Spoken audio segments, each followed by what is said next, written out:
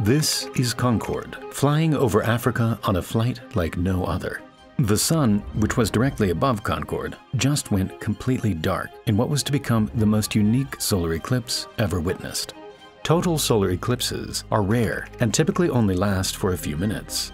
But in 1973, scientists were able to cheat and experience 74 minutes in the moon's shadow by flying in the only vehicle capable of chasing an eclipse. This was an incredible mission that required pinpoint accuracy and timing to intercept the moon's shadow as it traveled at over 2,000 kilometers per hour across the Earth's surface. We modeled the entire thing to show you what this incredible mission looked like and how a small team of scientists managed to pull it off. In 1972, French astrophysicist Pierre Lena began preparing for the upcoming eclipse. This was to be one of the longest in history, with a duration of over seven minutes. An eclipse this long wouldn't happen for another 200 years, so he was eager to make the most of it. He was particularly interested in observing the sun's corona, the area of hot gas where the temperatures shoot from 5,000 degrees to over 1 million degrees. The corona is usually invisible from Earth, but during an eclipse, the sun disappears and the corona lights up. But even during an eclipse, studying the corona is difficult since clouds and the Earth's atmosphere get in the way. And so for the 1973 eclipse, Pierre wanted to step things up a notch. And so Pierre asked legendary Concorde test pilot Andre Turcat if he could use Concorde to chase down the eclipse and fill the plane with science equipment. Aerospatiale, the French side of Concorde, were excited about the idea and let him use prototype 001 for the flight, with Turcat piloting the aircraft. Although there were faster planes around, none of them could match the endurance or cabin space of Concorde. Pierre and Turcat got to work coming up with a flight plan that would maximize their time in the moon's shadow. Before we look at how the flight worked, we need to understand the basic principles of solar eclipses.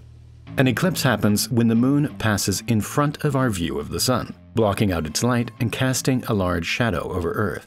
Most parts of the shadow will only experience a partial eclipse, but at the very center of the shadow is a much smaller area where the sun is fully blocked. This is where the total eclipse happens.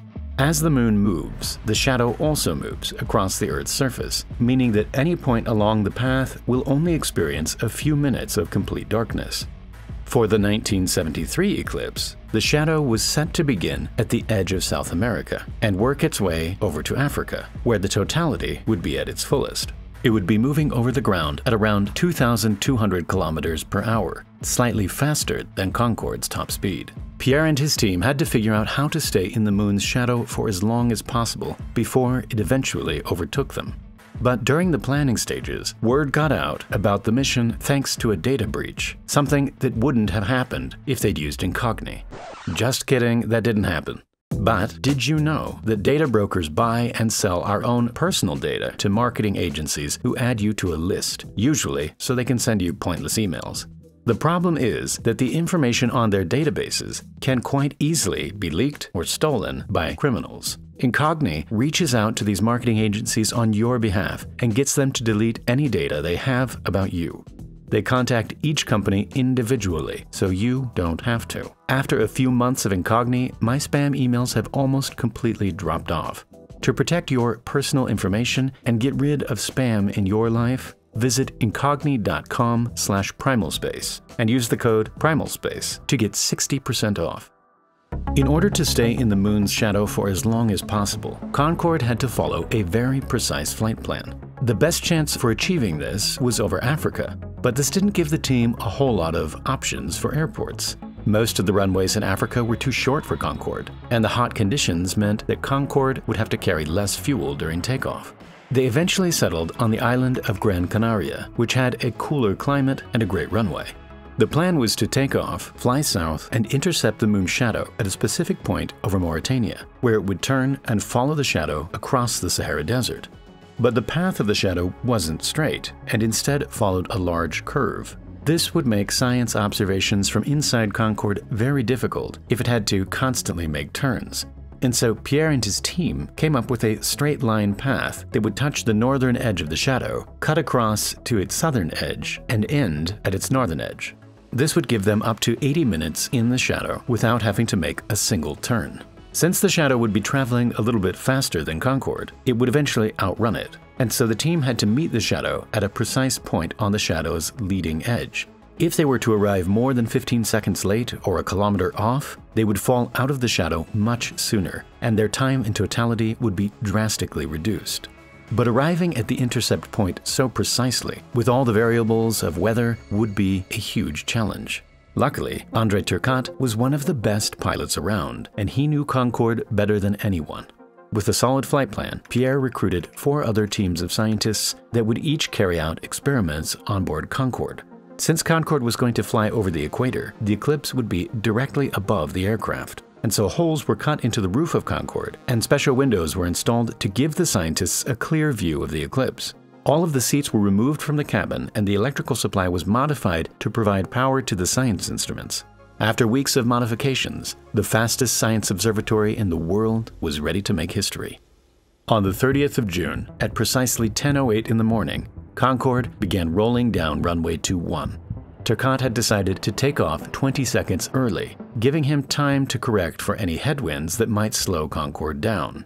This turned out to be a wise choice, since the weather that morning was more turbulent and they ended up losing 8 seconds during the climb up to altitude. With 12 seconds of time still to lose before reaching the intercept point, Turcat started deploying small air brakes to carefully bleed off some speed. This quickly brought them closer to the correct arrival time. But the winds continued to be unpredictable, and Concorde slowed down too much, falling 4 seconds behind the scheduled arrival time with just a few minutes to go. In order to make up for this, Turcat briefly pushed the engines past their maximum operating speed of Mach 2.2, and Concorde arrived at the intercept point just one second late and only a kilometer off course. At the exact same time, the sun fully disappeared behind the moon and Concorde was now in complete darkness. Despite it being midday, the stars became visible and the scientists could see the sun's corona through their windows. Concorde was now racing against time and the moon itself, and so the scientists got to work.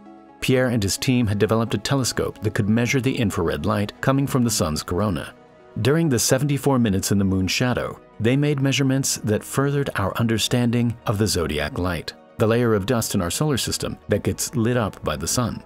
The team from the US discovered that the sun's corona has acoustic waves which cause it to pulse every five minutes. Concorde flew perfectly for 74 minutes before it left the moon's shadow and landed in Chad. For the scientists and pilots on board, they got to witness one of the most beautiful spectacles from the most unique vantage point. This remains the longest eclipse experienced by humans, a record that will most likely remain for centuries. And now for the Primal Space giveaway. The winner of the previous giveaway is Bruno. Congrats! In the next video, we'll be giving away this Primal Space designed Concorde poster available in our store. All you need to do is sign up at the link below, like the video, and leave a comment saying what you think about Concorde and this Eclipse flight. Thank you very much for watching, and I'll see you in the next video.